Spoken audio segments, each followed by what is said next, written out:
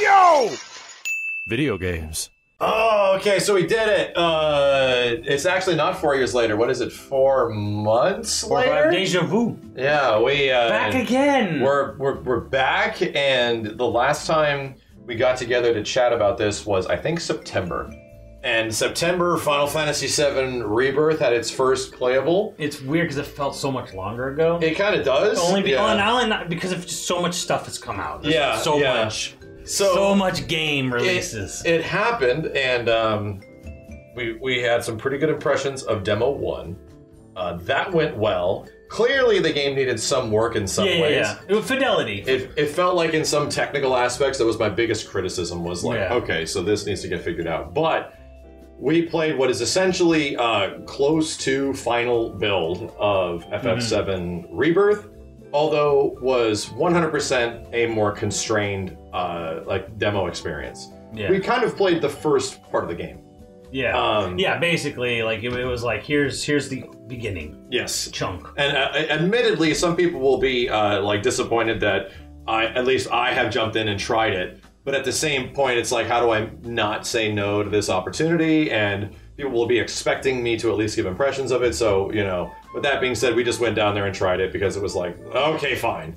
And then there's, you know, obviously things are looming on the horizon. Is there going to be a demo for this stuff? Like, is that eventually going to pan out? So it was like, okay, so we don't know what that stuff's Yeah. going to be. We might as well just go play this. And um, I'm happy to say that, in, in my opinion, I do not think that they really uh, spoiled us on very much.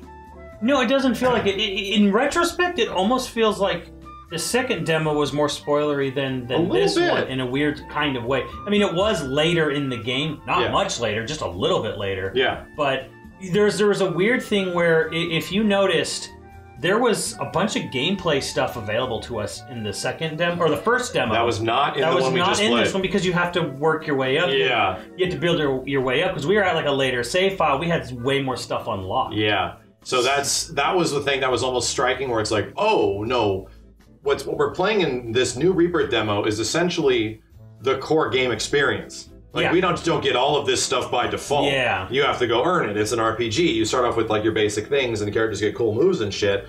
But to unlock the actual team up attacks that characters have The with each other, stuff. all the synergy stuff is is built into Yeah. a new synergy system called Folios. And now we're getting into it. Is called Folios. That is essentially an individual character's sphere grid. Yeah, That is completely different than their weapon sphere grid. it is different. Yeah, so now it's like, oh, you're gonna get the a, a somewhat similar amount of like weapon stuff that we had in FF7 remake, which is exciting. But now it's like, oh, so we're expanding that now. Character relationships, discovery, like all of this stuff mm-hmm. you do in the world affects folios, and now folios is like individual other things like 10% health or defense boost, Yeah, or 'cause- now you 'cause can it's- throw Tifa at somebody. This new sphere grid, like you were saying, it, it is could could be like oh more more attack HP whatever, but also synergy moves. So you're, it's not It's also just super cool It's not stuff. just one thing. Well, here's folios and it's strictly synergy move unlocks. No. no, there's other things you unlock, and Yeah. it's it. it I, I didn't really quite get it. I didn't really read too much into it. So that was one of the things. Like, so what's cool about our experience with this demo? Long story short, four hours they gave us. Yeah, Four hours. We needed eight.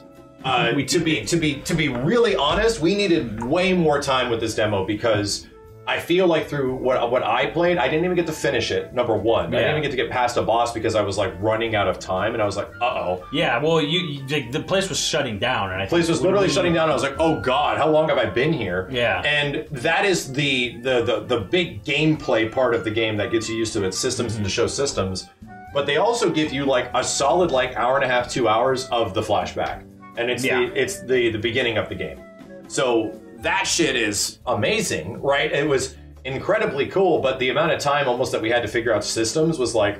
Oh god, I should probably start hurrying up. Yeah. Because I've been hanging out in this town too much and Right. just looking at shit. So, so there was something very cool about the fact that because you called this years ago, you said Seven Remake Two Rebirth, as we now know it, it's going to start with the flashback Mm-hmm. when in Kalm Cloud's telling them, you know, about the flashback 'Cause it's an amazing starting point. and it's like 100 percent that's where it starts. Yeah. That is the end it's the tutorial. What's interesting about the tutorial is it is a gameplay bridge Yeah. because chapter one basically Tutorial. it plays like remake. Yeah. And I mean, like, I mean, it's designed like remake. You know, you have your your your your little town, and then you have your specific mountain path. You walk up, you know, and you fight a boss, and it plays like remake. It's like easing you in from remake to rebirth. Yeah, that's true. To the point where you get another party member, and then you Yeah. get some of the unique abilities they can do. The tutorial is very much like playing remake, yeah. and even even Kalm itself, way bigger than the original game. Yeah. But even Big- bigger than any town in the original game. Yeah. And the remake, and even remake part one. and even remake part one, but it's way so it's like it's bigger. But then you're you're in Kalm, and you have like a sort of cinematic exit from Kalm, yeah. and that like it's building up to the new stuff. Yeah. Because once you get into the open world, that's when you that's when you get access to folios. That's when you get access to like chocobos. Get access to actual like that. So like exploration, the- understanding the, what game has this sort of bridge where it's like, here's you know we know how remake was, which was like this cinematic adventure game, and it starts there. We're gonna have still have the cinematic adventure before we just. It, it is not like drop you into like No. this open world and then what do you do? I don't know. go start picking posies. Yeah. You know, it uh, and it, mo- it makes me realize that the the later parts where we eventually play of the game are going to play pretty similar to remake part one, which is like sort of cinematic dungeony places. You go to a you go to like if we eventually go to some place like Red 13's town, we go to Cosmo Canyon and got to go to Cave of the Gi. Yes. That's going to play out Yeah. kind of similar to like a, a, a dungeon area. Yeah. Where you get the cinematic sort of dungeon experience. and we didn't get to see it, but were- I'm just kind of thinking in my head here. You know, when you go to the the crystal caves, whatever they're called. Yeah. Um, you know, Mithril Mines, I think is technically now. right, yeah. whatever it's called in the original game, where you you meet the Turks Yes. again. Um, that's probably going to be more like remake, more like a dungeon, Exactly. like a dungeon kind of guided uh, cinematic Yeah, the, the, tho- those individual places are more like the game's quote unquote like dungeons. Yeah. Instead of the, the the vastness, it plays literally. Just use the comparison of the OG game. You get this Mm-hmm. open area that you run to a spot, a loading screen kicks in. I'm in Fort Condor. You, you Yeah. leave the Fort Condor open area. There's some shit to do in the open Yeah. area, but not much. In this one, it's like okay, now.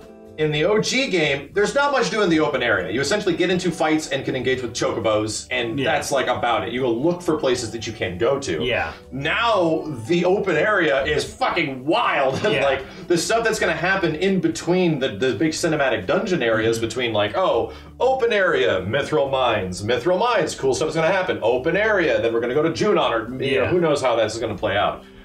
But we see with the game now how much shit they're actually packing into Right. the in between areas of the cinematic stuff. So stuff. this was my concern from the very beginning, from from remake before we even knew how anything was ever going to go. Was like, God, I really don't want them to skimp on the open world. Oh, Jesus, Right. man. So and and and here's the thing, with giant open world, because I'm a big fan of what's called wide linear, where Yeah. it's like wide open spaces, but we're still following There's the a path. story. There's a stor- there's a story, a crit path. You just there's there's a way you're supposed to be going. But I was always worried about because I'm like they could absolutely do like a big world. Like I I was always a believer. I've been a believer for like you know ten years or more. They, it could be done, but like I don't know if they'll do it. So when you get these big areas, you get what's called I call them the bowl design. Yeah. Where you're kind of like in this this bowl with a big flat middle, and you just have like these big edges that are just like these big with points of interest in between. or you, or it's just really flat, and mm-hmm. then there's just like points of interest, and they just sort of like dot the landscape, and there's kind of like not much in between them. Yeah. So what this game does, and I think for me personally, uh, from my perspective, the triumph of Rebirth right now is the map design is good. Yeah. It's not. It's actually bowl. cool. It's not a bowl. It's not like a flat plane with you know like you know just sort of like darted points of interest Yeah. every sort of nook and cranny is designed to have kind of something interesting, you to something. but also it's it's supposed to have a, a, a flow to it, right? Because you'll notice from the the like from the one side of the northern side of Kalm, where it's all deserty and rocks, and Yes, whatever, yeah. and you see all these big Mako reactor pipes, Uh-huh. and they sort of feed into the other areas and taper off, and then like you kind of see how uh, you know, the grassland area, which doesn't have a lot of you know Shinra tech, No. is flourishing Yeah. versus the other side that's been like, been, like sucked up. But that you'll just you'll the way you'll you'll come around a corner and you'll see a bunch of brick building ruins, and then like uh, Red Thirteen and others will talk about um, a whole plot point I was kind of unfamiliar with where they talked about the Empire. The. They talked about the Republic. the Repu- sorry, the republic. They use this term, the Republic, which is very Yeah. present in their conversations. so they now. had like some civil war or something before with the Republic. and it messed up the roads and Right, the and so infrastructure got it's- screwed up. Yeah, Yeah, and it's all pre-Shinra stuff. So Yeah. you get like ruins of a, of a sort of vaguely almost 1940s looking civilization bro. that's that's been abandoned was- because Shinra 1 took over and all this sort of older but not ancient older tech is just Yeah. kind of left. La- laying around. yeah. The what was the reason you even went up there? Were you just meandering? Or so did my, the something- reason I went up there was I was following the bandit side quest. Okay. And then I discovered, oh, there's all this stuff up there. Yeah. So I was, because, well, I, I, I got really distracted, but it was really cool because there's this one side quest where you go to this, this, this, uh, it looks like a fort, like a brick fortress, like a Yeo, like a pirate Okay. sort of thing with like a weird steering wheel on the top What the overlooking a cliff, right? You go there because after you activate the Ubisoft Tower, and we'll get to that.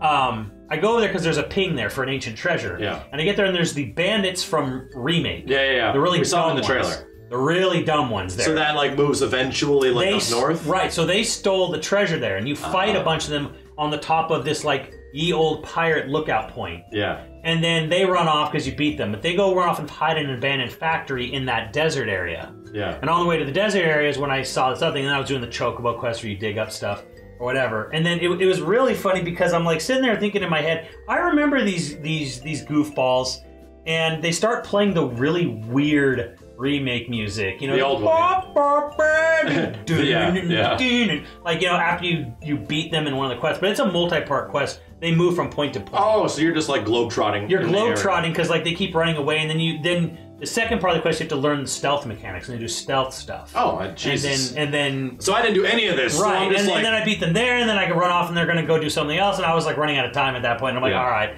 because I was so easily distracted So there. uh, yeah, I I got led up to that area from uh the I just got the chocobo. Yeah. And then they're they're like my sister can use some help with something, and then you talk to uh, Oh, that was the the Choco Billy's daughter. Choco Bill's yeah, what is his name? Daughter, right? And uh Chloe or something. Chlo- something. And she says that she wanted to make something for her brother, um, who's like uh, this is a little little spoilery about like the young Chocobo Bill's kid, right? Yeah. But it's his grandson, and he's like in denial that his parents are dead Ah, but the sister has completely accepted it. So he wanted to do. so- She wanted to do something nice to him for uh, for that reason or something close to that. And you have to go pick flowers to go so she can make something for him. And it's like little little flower crowns that they made when they were kids. I see. So it's got some like oof. Like some little like yeah, like oh they like her parents their parents went back to Midgar at one point and never returned or some I shit. So see. they got killed in some seedy underbelly wall market shit. Yeah. Um, anyway, long story short, she sends you on this massive thing where it's like 1,200 meters away. I'm like, why the fuck is this? And it, yeah, it leads me down that place where you get all the cool backstory about the Republic. Yeah. And then uh, I noticed as I was going up there, uh, there's obviously the grasslands, but as soon as like you feel like you've seen enough of this zone, it changes to something. yeah. I feel like uh, you can obviously meander around this like kind of circle that is the grasslands, but as soon as you start to move a little bit more in a direction, you get to the swamp and the atmosphere changes completely. Yeah. You move it's in these foggy. It gets and- foggy and yeah. weird. Like the atmo, literally the music changes. Yes. And the same thing happened in the uh, in in like essentially the the Badlands. Yeah. Which is right outside Midgar, where life is just drained from everything. Uh, so it was, it was a flower picking quest. Long story short, but it wasn't just like I'm gonna run up here, yoink this and grab it. No, all these little sprout enemies that are like, oh, the Mako infused flowers turned into cre- creepy fucking monsters. We got to get rid of these fiends. Really? I was like, oh, it's the sprout guys from like Ah. that you fight, and then they you just have to kill like 30 of them as they're all in the flower fields to pick flowers. I'm like, that's cool, and then you get a really neat like view of Midgar. It's also Mm-hmm. another quest. It's like a photo quest. So there's FF15 photo quests Ah. Quests, that you photo can go and quests, take yeah. pictures of shit with a, with a Yeah, I, photography. I did a thing. thing with the chocobo where you dig around the brick ruins Yeah. stuff, and then I did one where I I, I, I, I didn't get a scavenged- quest for that. I got a tank. I got one where I, I scavenged a tank, Yeah. like an old world tank. What? yes, there's they're like uh, uh, across from where all the brick ruins are. There's like Yeah. this tanks like that's just like decrepit and broken Oh, down. cool. And it's in like the side Old of a cliff. Miyazaki tank. Yeah. Yes. And and, and, and like you you scavenge it for parts and stuff, and that's kind of like leads to some other like item synthesis thing or something. So it, it, it felt like it was very naturally leading us in this direction through like side quests, and I, I kind of like my side quest. It gave me a huge like Aerith bonus by the way, when you do side quests with certain characters, um, it gives like an affinity towards your relationship with that character. Right. That isn't just like, oh, so this just guarantees I'm going to go on a date with them. It has an effect on that too in the future, from what we understand. But it literally leads into the folio stuff, where it's like character relationship stats and score. Mm-hmm. So it's like, that, hey- that benefits like literal, like, oh, now I can team up with Aerith if I do Right. this So stuff. you're gonna get more synergy moves with this character. literally cool limit if break you, stuff. If you, do stuff that there's they're a little more inclined towards. Yes. And then there was weird stuff. I think the weirdest one, and I think even you looked over at my screen at one point like, what the hell is going on? what was it? So we were I was running I was going way down by the ocean. yeah. I was following the cliffs, and then I found like uh, I found this wisp in the air, and, and I'm like, what is this? And so like I, I I followed it, and it kept running away from me, and it led me down this trail down the side of a cliff by the ocean, and then it went into this big cave. There was all these weird glowing cubes and rocks in yeah. this cave. And you were like, "What the hell is that?" I'm like, "I don't know." Yeah, you couldn't grab it yet. So I I hadn't activated Chadley thing yet. Yeah, so- I, I think that's so. Uh, before we get into Chadley, the thing that I loved is that as, as soon as we started going to the Badlands area, the music started changing. right. So Badlands had a different theme, Yes. and it's it's the goddamn Sector Five theme. It's where Aerith lives. Mm. Like fly high once more. it's the sad song from FF7 Yeah. remake, but done in an instrumental version, Mm-hmm. like do do do do do, and then it changes when you get into a fight into a battle version battle of the version song. of I was like, damn, this place has, has like a mood to it. It feels so sad out here, you know? And, Yeah. and it kind of is because you were just looking at this gorgeous da da da da. Yeah, because they played the main theme when you get into the grasslands. You get the main theme. Of It's this gorgeous theme. But then if you start and you, you engage an enemy, it dynamically shifts to like a battle, The battle pumped version. up version of the main theme of Final Fantasy VII. So I like it. Just it just so naturally moved us into that song from remake part Mm. one and a unique world theme of that song that I was just like, this is depressing out here. that's cool because I didn't. I after I did the bandits thing in the abandoned factory, I was like, I could go down this way more, but I'm running out of time, and I'll be damned if I want to spend my time in, in, in dirt and rocks. And that's the So- and that was my so and that like, was my "All right, problem. go somewhere else. Yeah. time, time to explore somewhere else. Dude, and that was that was like my issue is that you spend a lot of time in Kalm with character development stuff.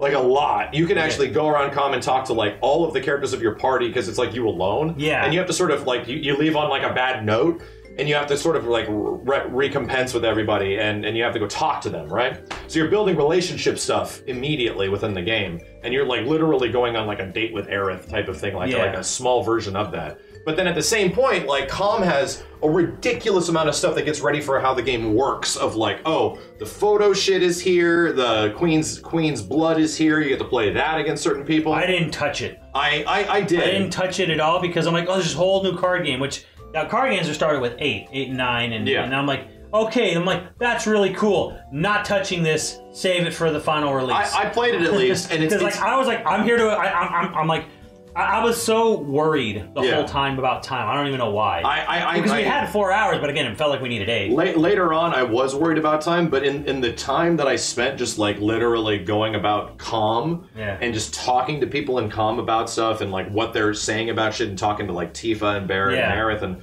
all this stuff and just exhausting like what's here and I didn't even do everything. I Uh, felt I'm like, dude. I spent 45 minutes just running around this fucking town. I, I felt bad because I was like, man, this is cool. I need to get out of here though. yeah. So like, like I went, I talked to Barrett, and I was like, okay, cool. Like you know, the whole thing about I'll be the first one to buy you, you know, buy Drinks you and stuff, at your new place. I'm like, okay, cool, cool, cool, cool. I, I gotta get out of here. Yeah. You know, I'm like, I, I, I don't want to, I don't want to run out of time. So for me, I rushed through the intro. Um, incredible title drop. I'll just say that. Um, I don't even remember where the heck. Oh, it's when you're walking to the cliff. yeah, Yeah, yeah. The, Jesus the, the- a, Christ. a Ghost of Tsushima level uh, Oh. caliber, but more nostalgic title drop when they start like blasting it. Wait, and I don't want to. Okay, so I, and I don't want to talk about like a ton of specific moments of Yeah, the, but I'm just like the flashback. that was just basically but setting you up. Like, hey, we spent we we, we we're the music is gonna be great in this game. Jesus kids. Christ, dude! Like, Like- the, like I'm just sitting here, like I can't, and I don't want to say too much because I want people to experience it. But holy sweet fuck! Like I looked at Simmons and I'm like, dude, this game loves its fucking music, bro. There's a part that like reminded me of like Lord of the Rings, like ring race shit. Yeah. I was like, God damn, this is so fucking scary. Like this is so yeah. cool. Uh, I couldn't believe it. Just musically, I I have I'm shocked. Like, and even even it's like, how, how are you even shocked after remake part one in different ways now? hearing different there's, things. There's more variety and there's more stuff going on. There's just more different locales. So they have to change the music almost more and more often. And that's the crazy, incredible thing. Because you're saying, oh, they took a sad vocal song from remake and then they kind of Turned it into into an world theme. instrumental world theme for this part of the world. Yeah. And there's a different type of theme when you're running around like the swamp and in the ranch, you know, and stuff like that. So they, like it it almost feels like they're in in Junon Harbor. If you remember from the first uh, uh, uh, demo we played, yeah, completely different world map theme. completely different themes. For- for- every, every new area you go to in the world map has like, if, if the atmosphere is changing in some way, the music's changing with it. Yeah. It's so expensive. Like, I'm like, this is so goddamn expensive, dude. And it's like they had, it was, it was like, like, uh, what's, what's the Jurassic Park saying? Uh, Spared no expense. spared no expense Yeah. on the music in this game. Like, it is fucking crazy. What else do we want to talk about? Um, the you did way more because I did exploration shit. So That's I what I was doing, but in, in, but I did in a exploration different stuff in, way. in towns of like oh, talking. Oh, towns, yeah, I, yeah. was, I found myself talking to so many characters and stuff. and I was, like, was, fuck, I was fighting actually, things. I was actually very interested in, in just sort of the the the world map itself. So that's what I wanted to ask you because you got to actually beat the demo. I the you demo. went to the world map and fought things and got experience. Right? Not even. I cheesed the boss. Oh, you did? Oh, I cheesed it hard. Okay. So I died once, and then I went. There's no way. This thing's like three hits and I'm dead on this thing. Yeah. So I put Barrett and Aerith in my party because they're zoners. Yeah. And I played as Aerith, and I jumped. I went behind a tree, jumped out, meh, meh, meh, jumped back, Oh, meh, I meh, meh, jumped back, and then I realized the weakness. It has a hard weakness. Yeah. Which not only does it do a lot of damage, but it hard. It it really chunks its stagger meter up. Oh. So I did this cheesing. I barely won that fight. Yeah. Either way, so I would just do Aerith, work up AP to pray because it's a non non item use because I ran out of items pretty fast. Um, way to heal your party without using an item or using Mm-hmm. MP, and then if I would stagger it, I'd switch over to Barrett, use limit break, y- yada yada. So I was cheesing the boss. I, I got into that fight and I got this bitch down to like that much. And so, and, and just as like a, a spoiler, it's the Midgardsormr, the Midgar Zolom. Uh, they actually have the, the, the, the, the correct translation name this time. Uh, the fight's actually super cool and it gives you a, a hint and how future fights are going to be with interactable stuff because we saw this also in Junon Harbor, where like there's interactive elements In- in the battlefield now instead of just running around and fighting. Now it's like there's trees and stuff that light on fire that you have to Yeah. go hide behind during certain attacks and shit. So it's like, oh, that's cool. I don't remember that being there a ton in in remake. not it as, seems to be a not- little bit not more. as much. Yeah. Like obviously the Abzu fight kind of had some goofy water stuff every here and there. Yeah. But it, it just I felt beat the fight. I'm glad you didn't see it because there's a very significant cutscene oh god. that happens there. That Yeah. that it's better that you didn't see it. okay. It's better that you didn't see it. Honestly, just just That's because good. it's weird how like they wanted people to see that and, and don't read other people's previews. Although the guy said not very many people actually beat the Zola. So yeah, and and that's that's what I'm leading to is that in in my experience, I bar- I didn't do much fighting. Like I didn't Yeah. I didn't go do Well, that's any the extra other weird fight thing. That- if, if there's any weirdness about this demo, it didn't feel like there were a ton of enemies on the world map. Not a ton. There wasn't a lot. I mean, you could find enemies and fight them. It was, and if you wanted to get the unique enemies, you had to follow the the Chadley points. yeah, To go pin but pin there wasn't. down. It wasn't like You're constantly fighting. it wasn't like just enemies everywhere, kind of roaming around constantly. It Yeah. wasn't really like that. Yeah. Like it actually kind of like let the environment kind of Speak for itself. speak. Yeah, like, and I didn't. I didn't mind it actually. It didn't bother me. It, But did, it didn't fit it because it didn't feel like you're bored running around not doing anything. Right. There always seemed to be something like Elden, not Elden Ring perfectly, but Elden Ring like, where it's like you're gonna you're gonna run for only so long until something happens. happens right. Yeah. And it's like, oh, okay, so that that feels good. So my my issue is that I barely did any fighting. I went to go fight like the Alpha Dunk things, right? And I Yeah. just got slammed. I was like, this is kind of hard. Yeah. Like this is actually not super easy. And then I I realized why it is that way because because the boss fight's kind of tough. Like it's like this is this is the first boss Like of I the said, fight. I barely beat it. This is, barely. the, this is the first boss of the game, and I'm like, this is actually pretty hard. Um, and I like that. I like that it's challenging because guess what it's encouraging you to do? It's encouraging you to go grind. I It's guess. encouraging you to go fight things I guess. and level I- I- up I and go back to the area My- and do things you haven't done. My feeling was that it wanted you to like learn its counters Well, it definitely has. Because that was that. like the other thing. For my thing was like, there's no way. I'm like, I'm like, I, I was looking at that. I'd have to grind forever because I wasn't leveling super fast. Sure. As much as I was trying to fight, and so I was like, there's got to be something I'm missing here. And and and for me, it was ice. Like it was whatever. The snake's weak to ice. So I was just casting ice on it a lot, Mm-hmm. and I noticed that it. it you know, it, it hurt it, but again, it really hurts the stagger. the yeah. stagger was like insane on casting a good ice spell on it. So I was like, So in- okay, so it's and then like use the trees, avoid, avoid. So isn't that trees, isn't that a, isn't that a, a, kind of sick though? Where it's like, okay, so you can brute force it and go back and fight a bunch of shit and level up and grind. you could? Because what was one of the biggest complaints about remake part one? There was no grinding. You couldn't grind anymore. You can't. There was one spot at the end of the game under an expressway that was actually worth it to grind. Yeah. Everywhere else, you can just pass the enemies. Yeah. There's no most. There was very little incentive to sit around and just fight things, which is a Mm-hmm. huge part of old old FF7. Like, oh, this is a good area to get X potions or whatever. Yeah. There was almost no incentive in, the, in in remake part one to grind, and it was kind of a complaint. So Hmm. I think this is a good call. Where all right, so if you just obviously don't don't have the time to invest in figuring out how the mechanics of the fight work, just go grind. Just go fight shit. Hmm. Go do all go do go fulfill all your folio stuff. And then level yeah. up people and go go to Chadley and all the crazy spots and go level up this shit. Yeah, and, and they were telling us they're like, hey, when you get to the open world, we recommend going to Chadley Because he and- gives you a ton of stuff because to he go unlocks to. yeah he unlocks the game design stuff and this is the thing where i think the only party pooper some people will have on this is that there's straight up ubisoft towers in this game Oh yeah, yeah. however before before you refund your pre-order when you activate a Chadley tower it points about five or six pings on the map Yeah. and they're all different from each other Yeah. it's like one of each type of specific Explorable. ping. One of it's like here's a, here's a an ancient treasure. Here's a Moogle house, which you did, I didn't do. Yeah. You know, here's here's a, a, a named monster location. Like we we noticed, like you know, uh, actually I don't know if they're named monsters. Alpha Dunk. Well, you know, in in Xenoblade you have na- named monsters that they, Oh, just, yeah. they kind of roam around, and it's like okay, We- that's we- that's a that's a bad that's a big baddie. He's Yeah, tougher than normal. We saw this in the um uh the preview in September in Japan. There was like some crazy dragon that pops in the Badlands area Hmm. that you probably have to eventually get to. So what's cool about that is that you start unlocking more things as you discover stuff. Right? Yeah. The same thing with like the Moogle house. You go to the Moogle house and they have a ton of like unique gear and materia and sword art slash like hand art weapon books that like increase, I guess, Hmm. I, stats. I saw I saw I saw footage of the Moogle house that I didn't do. Yeah. and I was like, wow, it, gave me this weird Kingdom Hearts vibe. For some oh, it kind of is. With like, Yeah, and Cloud enters it like he's literally like high on shrooms or some shit. He's like, "All right," and he just does what they say. It's it's implied that you're in some weird, crazy like. Uh, goddamn acid dream state when you go into the Moogle house. But when you leave, you learn that the Moogle house, uh, when you complete the tasks, it unlocks more of the Emporium for the Moogles. And when you go around the world, you'll find Kupo Moogle tokens. And the tokens are the currency, the Moogle houses are the Emporiums, meaning that every Moogle house you complete, more of the store unlocks.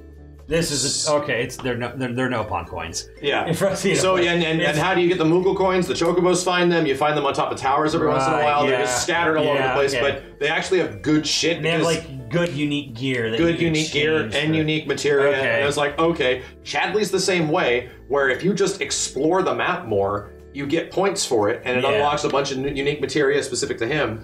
So what also is related to your crazy ass cave. Um, That I was went in there. we found out that was related to summons. it's related to summons. So here's this is this. I think I think this is fucking genius. Yeah, I was actually very impressed with this. Um, this. I, I looked at Chadley and he's like, check out the combat simulator if you get a chance. And you're like, you peace out. And I was like, let me see what's in here. And there's a ton of shit. And I was just like, too much shit. what the fuck is that? You can fight Titan. And I was like, oh, okay. That haven't done that before. Uh, let's let me let me fight Titan. And it's like, you do not possess the points to uh, to modify this fight. And it's like, would you you want to fight him at full power? I'm like, uh, sure. And I live for like an, a minute and a half, and then he fucking just kills me. I was like off like that much health. I was like, shit, this is tough.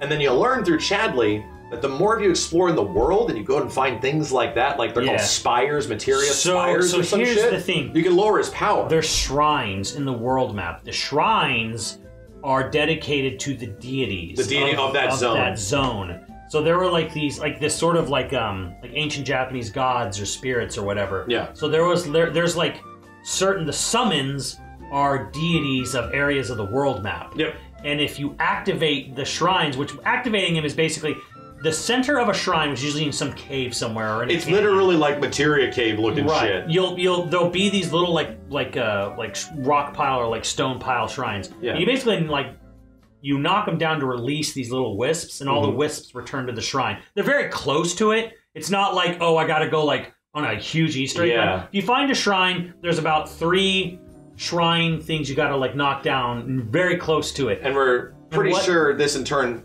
goes back Yeah. to Chadley and lets you actually drop the difficulty of Titan. So what you do is if you if you basically like activate all the shrines for a certain deity, it massively lowers it lets you actually fight him. his stats, so you can actually beat the the, and I don't I don't Titan know and get it as a summon material. and that's that's the ultimate reward is that oh once you beat him, you get him. yeah, so it's like this thing where it's like you have to go and honor the deity Yeah. of that part of the world map to get that summon, which Is brilliant. oh man, that probably in part three, but can you imagine what that's going to entail for Knights of the Round? Like holy well I mean this is this is essentially right what I was what I was like hoping have to do to do that Th- now? This was the reason where I was like, bruh, this Final Fantasy VII remake sequels mean that Knights of the Round is going to be part of the story.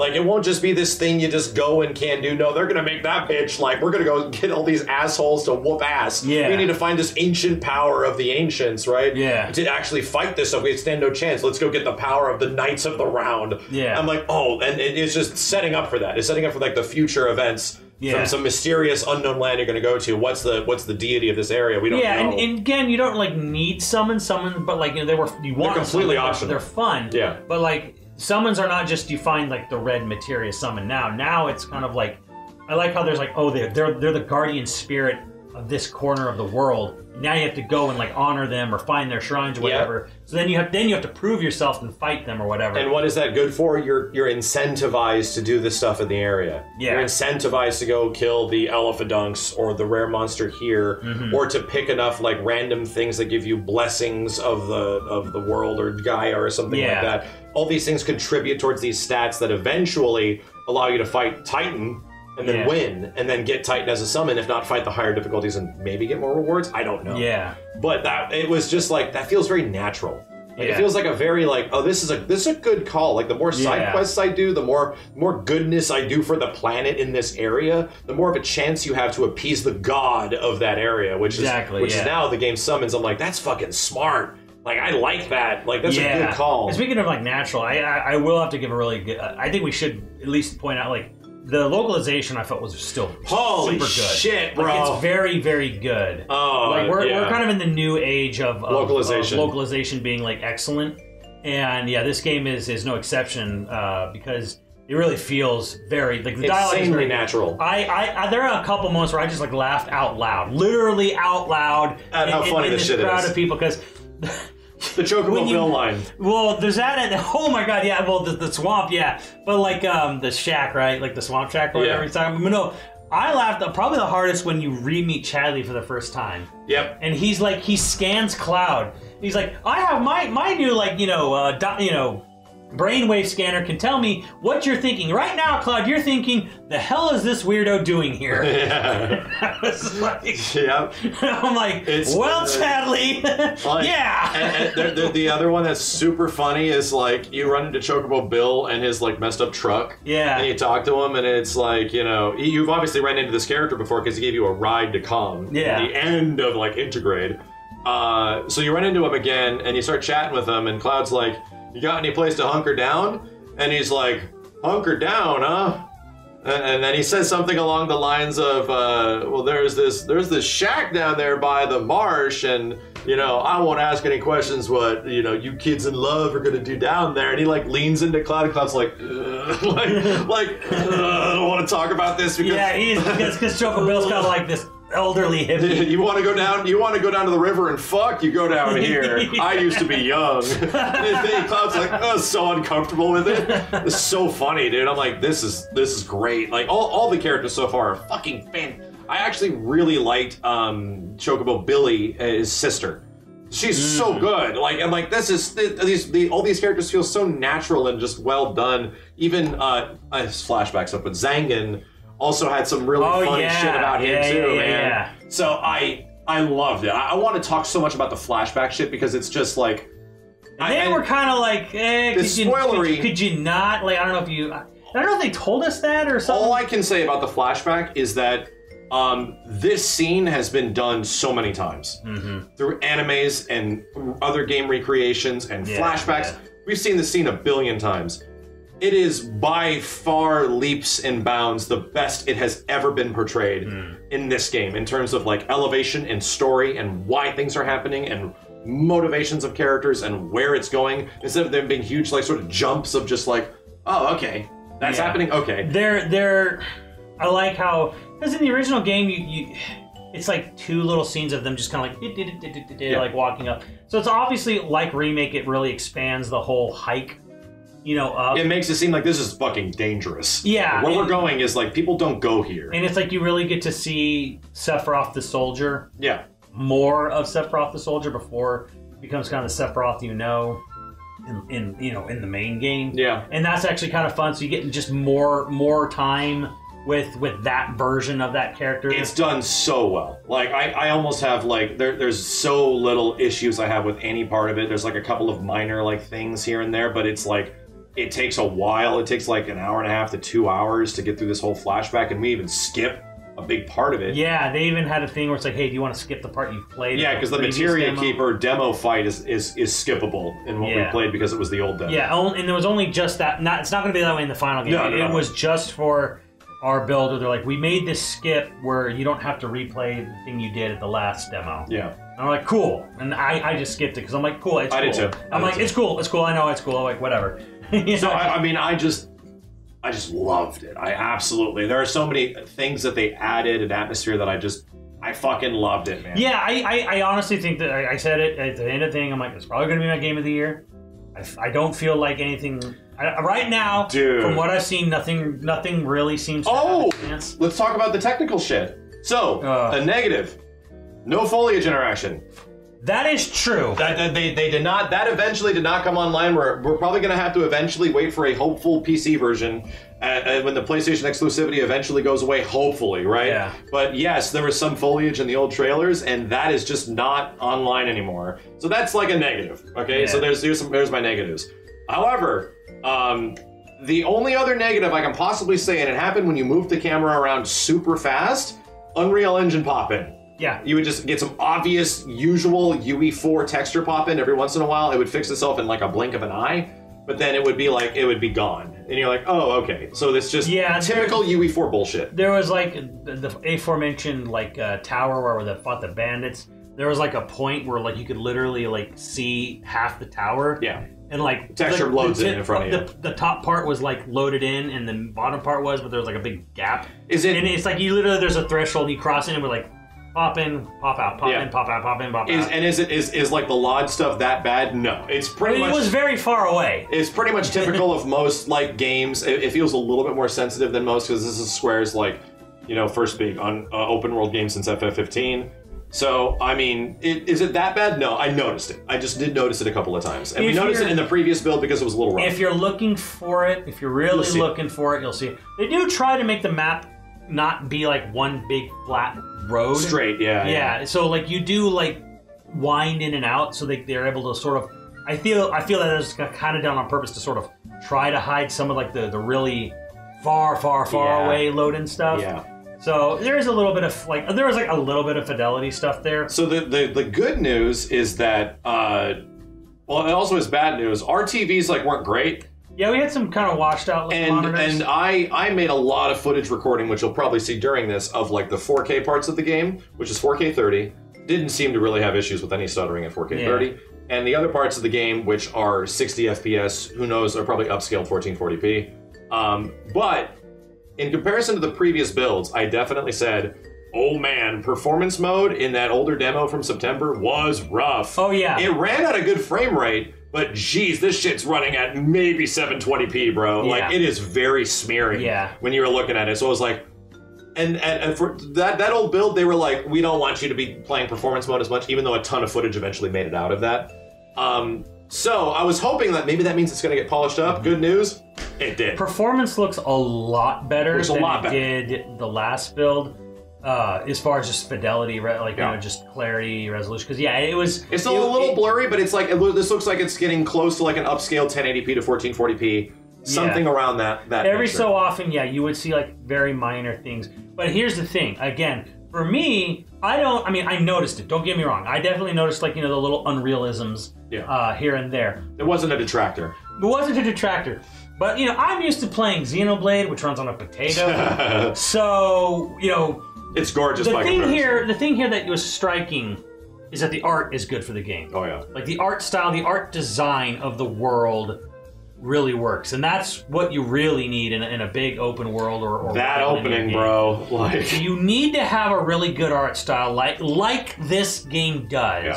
So that's that's where I'm like I'm very happy to say I like the way the world is kind of portrayed and looks. Yeah. And then just sort of the the, the ambiance and feel of it. It's fucking um, gorgeous. Like if you look real close and you get you Yeah. start nitpicking at small things, yeah, it kind of falls apart. And there's clear room for upgrade in an eventual PC version. Yeah. Obviously. Yeah. But when you like are just running around and engaging with stuff and doing things, I'm like, shit, this this feels and the music is kicking in. I'm Right. like, I could smell this fucking Yeah. place, bro. Like, Like- this is nice. to be 100% fair, here's what I'll say.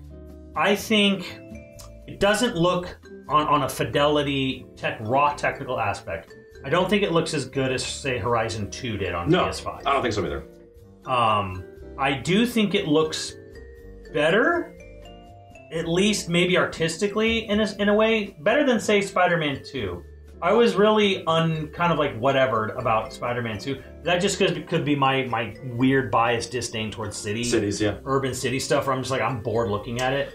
So like yeah, it's a different kind of open world that we have not seen a ton of before. The closest Right. comparison is probably Horizon, I it is guess. probably Horizon. I don't think it has the fidelity of Horizon, It but I doesn't. think it's I not, it's not it Decima has- Engine. I think it has more intrigue. Uh, yeah, because- maybe. because I think they're trying to. Um, it feels like they're trying to make every corner feel like it has something unique Yeah. in it. Where Horizon is supposed to be post-apocalyptic, so there is supposed to be you know just wide open swaths of land with like a couple points of interest where it's mostly just overgrown, Yeah. you know, whatever. And here it's it's a little bit more down to earth because the thing is is like we don't know if you'll pilot the Highwind in this game, probably not. Probably not. You run you ride on chocobos and you do go fast on those chocobos. But like Horizon 2 was built with the idea that you're going to fly over this stuff eventually Oh, I see. in a giant on a giant pterodactyl. So you're going to be way up high. You're going to you, you're The gonna, you're gonna, scalability of it. You're going to be seeing because this game you're just you're just closer in the whole game. It feels like you're you're you know you're standing next to Cloud Yeah. or whatever. So it, it feels a little more um, tighter, like you know more like intimate. Zoomed in a bit, I guess. So from- so kind of like it kind of feels somewhere between God of War Ragnarok and Horizon 2 little as bit. far as like Yeah. the sort of feel of just moving around. And not as like insanely wide and expansive as obviously like a Xenoblade Chronicles, something like that. Hmm. Not that, not that insane. Well, Xenoblade kind of bounce it kind of bounces back and forth where they'll have areas that are really big and then Yeah. they'll have areas that are mostly kind of like more guided, kind of closed in stuff or whatever.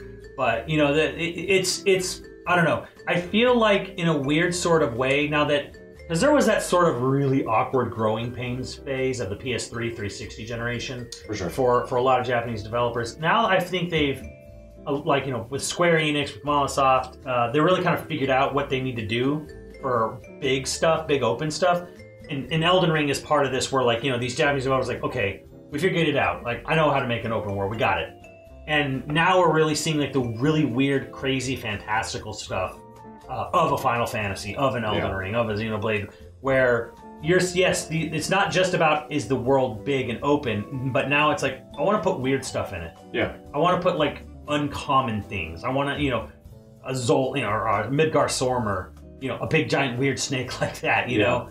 Um, so there's there's more of a fantastical element, which is really intriguing about it, because a lot of open worlds, again, Horizon's amazing, and so is Witcher Three, which are both big inspirations for this game. Yeah. But Witcher 3 is very much trying to do a sort of slightly fantastical version of, of uh, medieval Poland, Yeah. right? And Witcher 3, or I'm sorry, and Horizon is very much supposed to be Calif- Witcher Horizon 2 is California post-apocalyptic. It's Mhm. like it's here's landmarks, but it's it's it's This it's feels like Nevada, something it's com- Nevada and the redwoods in This feels fantastical. Right. This this comparison. feels like well, we're not trying to make it look like anything that exists on planet Earth. Yeah, we're trying to make it look like OGFF7. right, which know? is intriguing because there is a, and, and there's a lot of really fun logic to the way things are built. Like because we talk about this, Kalm in the original game feels like a, a, a town that was made when it was going to be A different game. a different game, Yeah. like like like a ye old Final Fantasy, like a nine almost.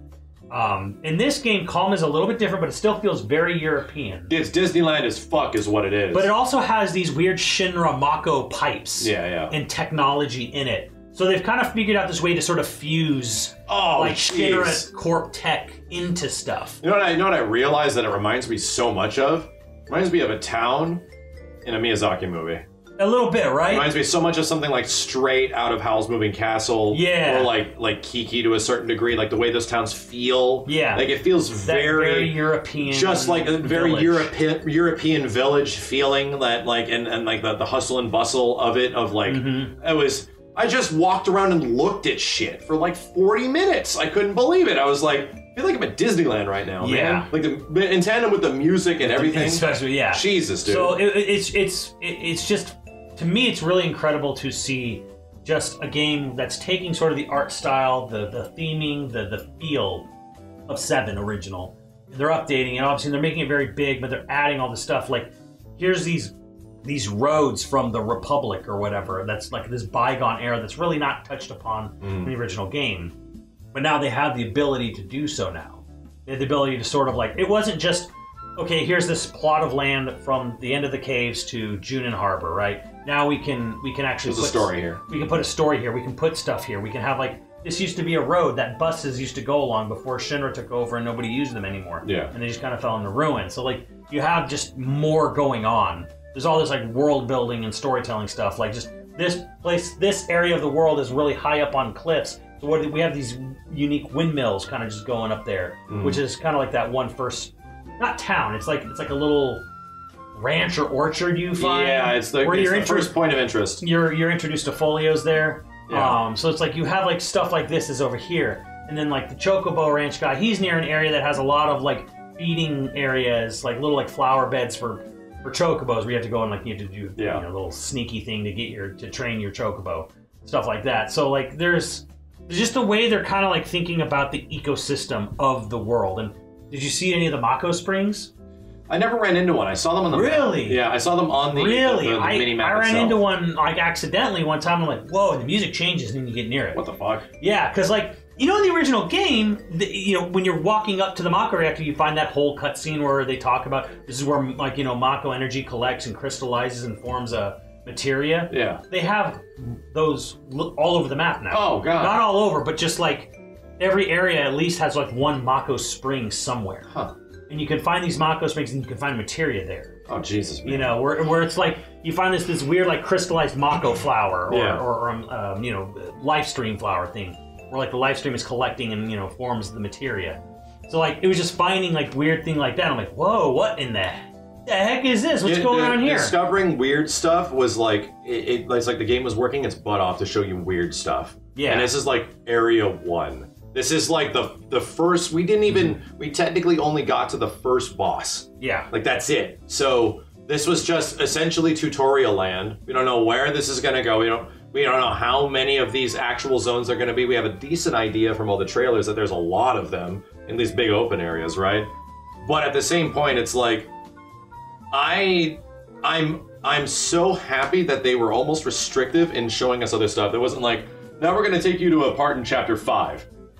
Where you're Yeah. playing as Zack or some shit. Like Yeah. it wasn't that. And even the we first- still don't know anything about even the first demo was only a small skip away from where this demo ended. Yeah, pretty much. It was just like getting to the Mithril caves, and then it ended seemingly here. out, seemingly And then our outside first- the Mithril caves. Yeah, and then our and then our first because that's where that's where the snake is. Yeah. And then our first demo we played was on the flip side of that. Yeah. Going to Junon.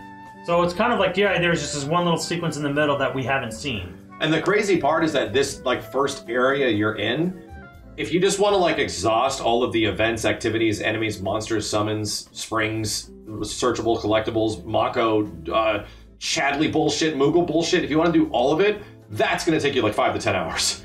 Oh yeah. Like there's there's gonna be Oh, so sure. much shit for you to do. Oh, for sure. And it looks like there's completion bonuses if you like. There there's like little dots if you max out the area and stuff. So it's like, oh and then, god and then damn, with bro. The, like with the first demo, the name monsters have conditions. Yes. Where it's like you can and you can refight them, and it's like So try to, to, like to get the conditions try to like do these three things during the fight to get like bonus whatever XP Something. bonus stuff. There's like there, yeah, there's a, there's a whole there's an information bar where like you want to they learn about the area and it fills up all these points for the information about the area and that leads to some reward too. So yeah, I think I think so to wrap this up, um, impressions pretty good. Yeah. Uh, impressions very positive. Um, I haven't seen Final Fantasy VII lore stuff, uh, much less like story mode, story elements handled this well, like Yeah, ever yeah, yeah. when it comes to the flashback. It was mind blowing how how cool it was. And then when it came to the actual eventual world reveal, exploration, character development, the realization of how much stuff there is, the realization of how much time left I have, and I'm not gonna be able to do all this. I'm like, Christ, dude, I need literally four more hours. Like, I can't believe you. Yeah. Um, I I was mind blown. I just kept seeing so many so much stuff that like I wish this experience was saved, but dude, we're literally at like the first less than ten percent of the game.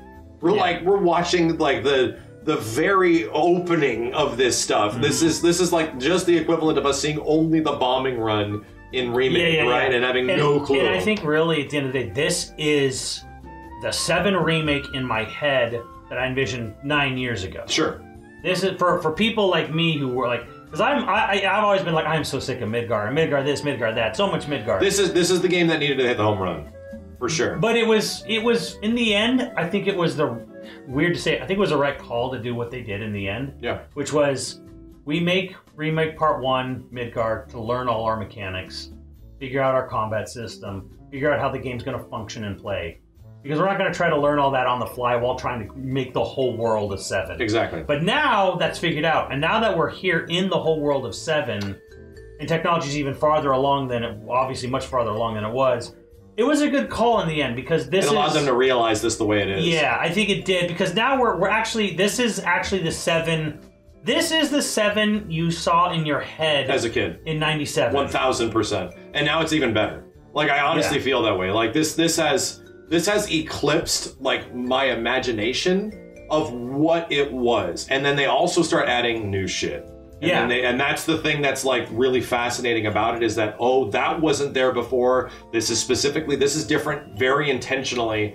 And it's like oh and now the mystery is there of just like oh so where are Oh we yeah, going? you you don't even know how much mystery there is because some of the stuff you didn't see is kind of like, what's that leading? to? what what does that What does mean? that mean? yeah. um. So so yeah, I'm sure a lot of other impressions and stuff are, are up right now. I'll get my own personal one up the the same day as this goes down. Uh, it is my personal hope this will be going up. Jan- uh, it's been going up February 6th, 30 minutes after the event. Uh, Yeah. it's the, the event's at like 3:30. Uh, I think our embargo's at four. So it's my hope that my hope that Square announces during that event that the demo is what we played.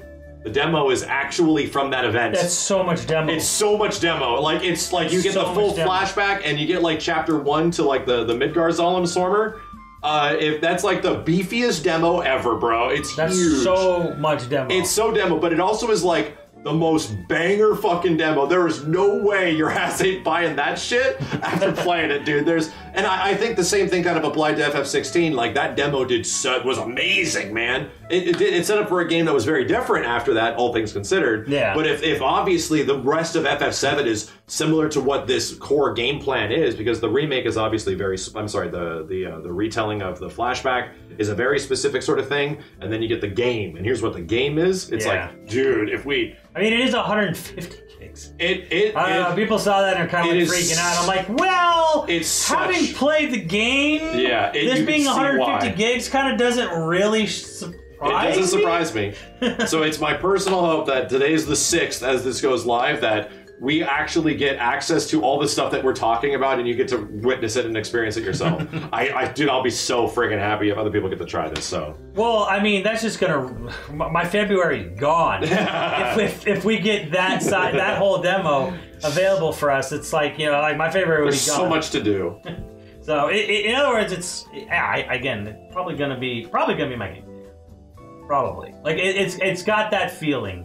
I have that feeling, like kind of like that RE4 feeling, where I'm like, it's Yeah, it's, okay, it's so yeah, January or it's February. Ah, game of the year's here already. that shit like yeah the the the impression you get from like an early playable because even with something like 16 for example we had some like questions where like Yeah. this dinosaur is wrathy in, in a lot Yeah. of ways and it kind of was in the end there wasn't any of that that like little bits of concern There's Yeah. none of that now the things that i was concerned about mostly have been fixed yeah. where it was like oh so now we get to see all the systems and how they're working and fuck they're vast like they're setting up for a lot of game here dude like a Mm. Yeah. lot of fucking game so Yeah.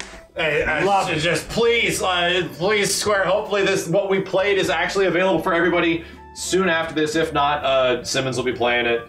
I'll be playing it, obviously, and uh, yeah, we'll probably get our playthroughs live on yeah, YouTube. and we'll we'll we'll play it. We're we're. I mean, yeah. I mean, we'll we'll play it when it's available for everyone. Uh, yeah, and uh, again, uh, just for perspective's sake, I won't be playing it outside of uh, available timeframes. So even if I get an access code early or something similar to FF7 Remake, I'm pretty much going dark after all this. Yeah. I don't want to know shit, man. Like look at the the achievements list, all that kind of shit. I'm just going dark. So uh, yeah, I, I'm just waiting for the experience, the rest of the experience, to be completely thrown into my face and just to have a very natural reaction. Because the nice part, I'm glad, is that I recorded on my phone our faces of some of the shit that happens, and you should see my fucking face right after you press the start button. like, oh, holy shit, oh, dude! with I don't the- want to talk about that. Oh, I- that, I want it yeah. to be a complete surprise. I was like, holy fuck! Damn, we're getting into this shit, boys! Yes. anyway, that's it. Bye bye, everybody.